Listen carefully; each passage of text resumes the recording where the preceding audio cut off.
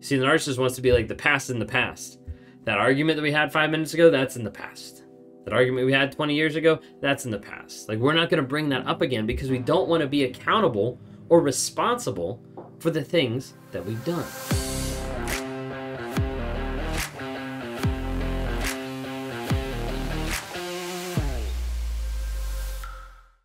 A lot of times, narcissists look always towards the next best thing.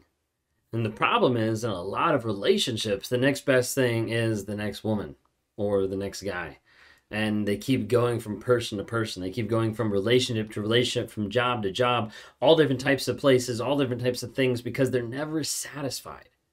They're never happy or content with the place where they're at, with the person that they are, with the person that they're with, with the job they're at. It's always, what about more? What about more?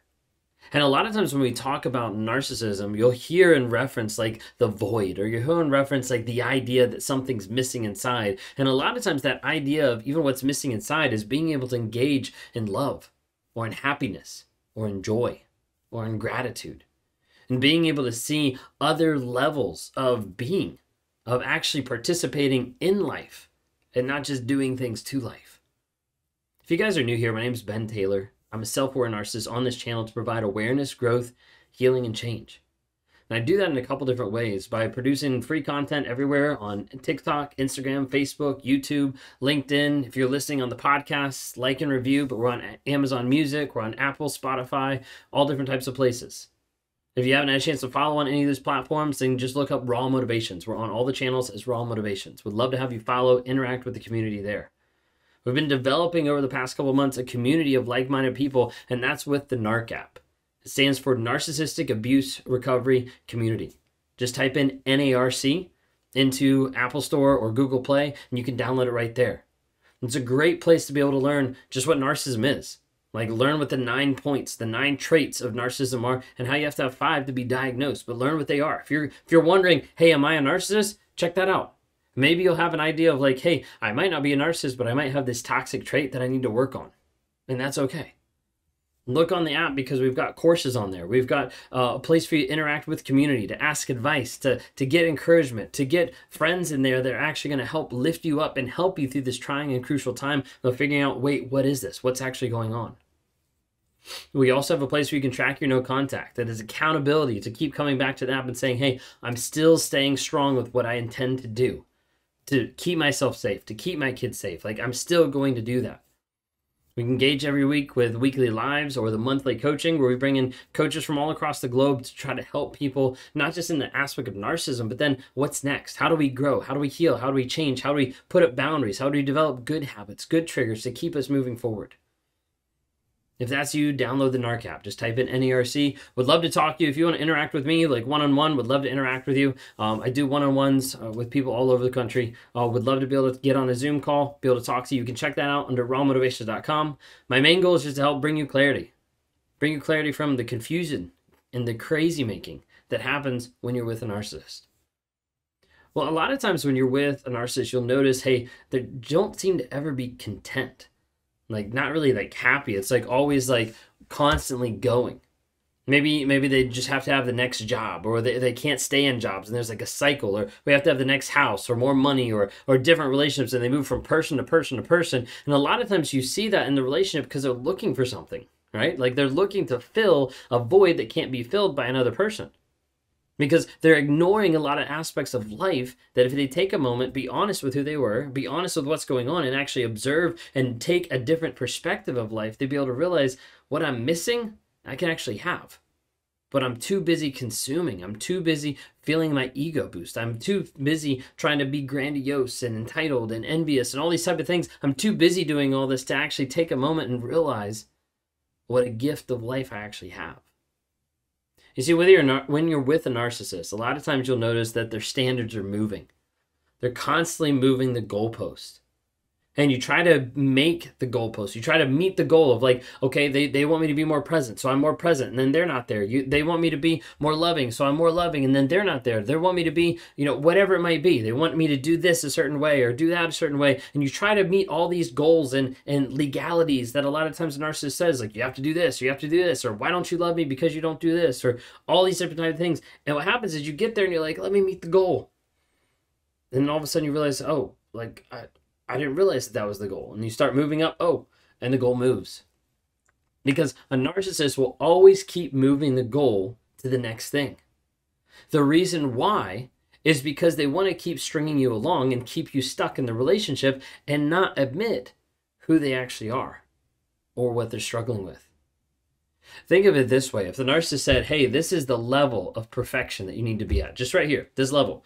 Like just just do these couple things correctly and, and it'll be perfect. Okay? And then you you you make your way up there and you meet that level. And you realize, hey, everything is perfect. Like I did everything that I was supposed to do. Every single thing on the list that you wanted in the relationship, I've done. Now I'm here. What happens? The narcissist always moves it up. Why? Because if we left it down here, okay, so as a narcissist, if I left it down here and the person met my standards, then I would still realize that the void is still there. I would still realize that I still feel like shit. I would still realize that the relationship still has issues.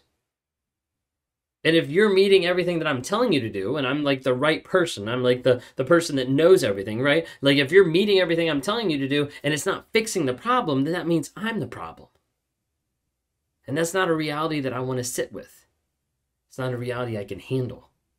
Because that reality brings up guilt and it brings up shame about who I actually am. So it's a lot easier to say, no, like you actually didn't do it right. No, that's not what I said. That's not how I wanted it. And I keep moving the bar more and more and more so I avoid the person inside. A lot of times you'll have a narcissist that's looking at the grass being greener on the other side. Maybe that's an aspect of cheating, sometimes in the aspect of investing or gambling or starting a new business or a different venture or getting more cars or whatever it might be. Like it's always like greener on the other side. Like let me go for this. Because a lot of times the narcissist wants to go for something that's easy. Like this is a lot easier than putting in this work.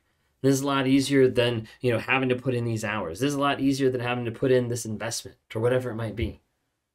And a lot of times they look for the easy way the entitled way but the grass is being greener on a lot, a lot of times we focus on cheating. So one of the big ways that we talk about it of like, I'm not getting my needs met here, so I'm gonna jump the fence and go get it with someone else. Like I'm not being served, so I'm gonna go be with someone else who will serve me.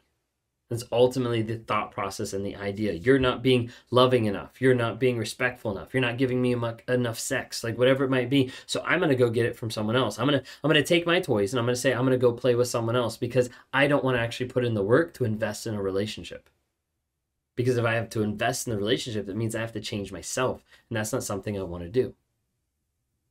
In my relationship with my wife, that was something that I was always opposed to. It was always her fault it was always someone else's fault. It was my job's fault. It was person's fault. But it wasn't an accountability that I would take for myself. It was always easier just to jump to the next person, the next thing, than it was to sit in the muck and say, hey, I actually caused this. Like this was actually an issue that I did. A lot of times the narcissists will go to the next step. They'll look for the next thing because they've already started to devalue. They've already started to tear you down. And typically when they start tearing you down, it's because you're no longer serving the purpose that the narcissist intends for you. So that might be like being a great model for everybody else to see. What a great family you are. Acting a certain way in front of public, acting a certain way in front of family, giving giving them what they want in terms of money or sex or validation, anything like that. And when that starts to change or when they start to change that mindset, they're like, you know what, you're no longer serving my purpose. So like I'm gonna look for something next. I'm going to look for the next thing that's going to help me feel better about myself, the next thing that's going to cover up the shame, the next thing so I don't have to own up what's actually going on here. A lot of times people struggle with like, how in the world do they do that? Well, there's a thing called black and white thinking that a lot of times narcissists have, and a lot of times they struggle with, and that's the idea of just switching in their mind of whatever you do ends up being all bad or all good. So think of it, you do 99 things good, and then you mess up in one area, all bad none of the good ever existed. This is how they like shut it off and twist it around. Like none of that ever existed. Like you betrayed me right now. So like the past 10 years of your faithfulness means nothing. Like you did this to me right now. So the past bit of whatever time we've had together is means absolutely nothing. Forget it. And they switch that idea from black and white thinking of you're either all good or all bad. And only takes one of those to completely change the atmosphere and to change the perspective. And then they'll go ahead and be like, all right, I'm moving out, moving on. A lot of times the narcissist wants to keep moving forward. They want to keep moving forward so that they never have to look back. You see, moving forward gives us a sense of direction and purpose, while moving back has the idea of self reflection, of actually admitting, hey, this is what's going on. This is who I actually was. This is the stuff that's left in the wake of my abuse. And when a narcissist has to actually look in the back and acknowledge the things that they've gone through, the things that they've been through, the people that they put through the ringer of how awful they've been to other people, they actually have to sit in the shame. And that feels impossible. Because the shame of who I am feels greater than any small pain of gaslighting someone else or manipulating someone else so that I can avoid being impacted by the shame that I have in my life. See, the narcissist wants to be like the past in the past. That argument that we had five minutes ago, that's in the past. That argument we had 20 years ago, that's in the past. Like, we're not going to bring that up again because we don't want to be accountable or responsible for the things that we've done. And so it's just moving on, moving on, moving on as fast as we can to be able to focus on the future, ignore the present, and ignore the past, and focus on what's next. Because if I'm always showing you what's next, then you're never looking at what is. Because oftentimes with a narcissist, what is is pretty awful. But the future fake to get you going to the next thing and the next thing and the next thing makes you think maybe this relationship has potential. And that's when a narcissist traps you. And that's when a narcissist controls you. Now, I know it's not across the board. Every single narcissist looks forward to the next thing. A lot of them do. Some of them don't. Maybe you might relate. Maybe this is something that you realize, hey, this actually matches up to a friend of mine or their spouse, and give it a share. Let people know because you might be the dealer of hope to someone else who actually realizes I'm not crazy, I'm just stuck in a toxic relationship.